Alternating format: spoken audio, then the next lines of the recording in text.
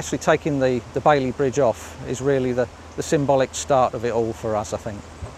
You know, to just get that monstrous lump of metal off the bridge and, and see the old thing again. So it's really, really special moment actually. It really feels like it's started now. Absolutely amazing how they do it, down to the last inch. Yes, that was exciting. They've got to clear off all this fill in the next week and find, of course, the gas main that's hidden down there somewhere. That's a main gas main. Well, originally when we started the uh, project, we didn't realise the gas main was there. It was placed over the, uh, the bridge, I believe it was the late 1980s. The gas company, whoever it was then, had the right to, uh, to place it over the bridge um, and did so. And it was covered with the fill, so nobody knew. Well, people knew it was there, but everybody had forgotten. And when we realised it needed diverting, then it, of course it created a massive extra cost. We looked at different ways of doing it, but the most cost effective and the easiest was to actually incorporate it in part of the new uh, internal parapets that we're going to have to fit uh, to comply with modern health and safety. So when it's actually finished the bridge, you won't see the gas pipe, it will be hidden inside the parapets that we're having to place on the bridge. Down behind me in the river here, we've got a couple of men fitting the scaffolding. They're actually up to the waist in the river. I didn't realise they'd actually have to go in the water, but they do. Um, and over the next day or two, the scaffolding will be going straight over the bridge and then there'll be an encapsulation and they'll start the work where it's generally out of sight of the public. The scaffold formed a full encapsulation around the bridge, protecting the environment and wildlife from the poisonous lead-based paint that was to be blasted from the original iron structure. Contained within the scaffold using special grit and a powerful hose, the stripping of the bridge began.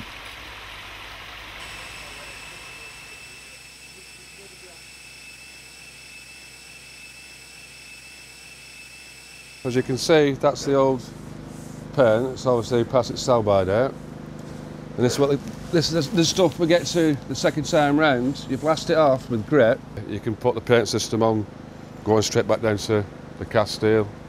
Once the bridge had been stripped back to its original state, for the first time since 1813, it was brought into the 21st century with new safety standards and given a second lease of life.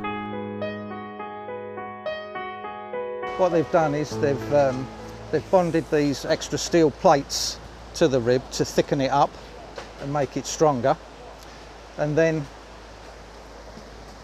these um, bracing beams here were originally just very thin tie rods. So they've replaced those with these uh, new, much stronger um, reinforced bars.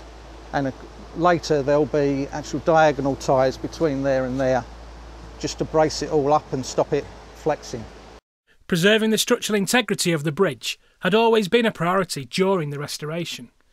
Because of the bridge's weakened load bearing capacity, it would have been easy to replace the Bailey Bridge with another similar solution.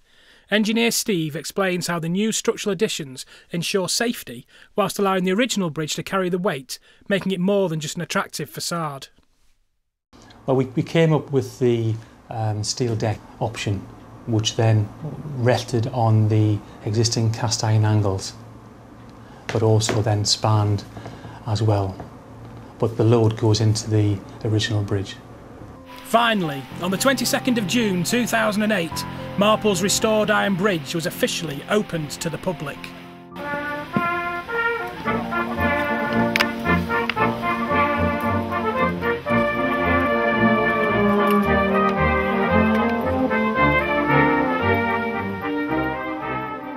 Good morning, ladies and gentlemen.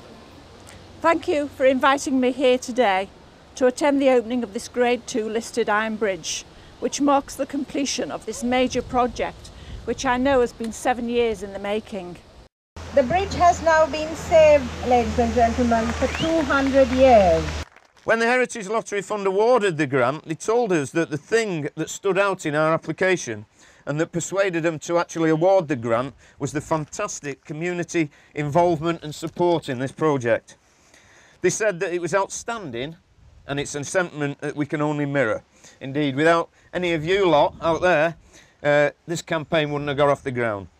So you can all give yourselves a big pat on the back and please accept our heartfelt thanks for that. Thank you very much, you people.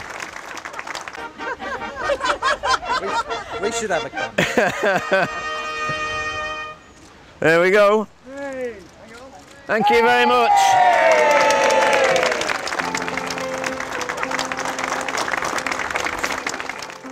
As the bridge approaches its bicentenary in 2013, it continues to span the River Goyt, not only as testament to Marple's historic past, but also as a symbol of its community spirit.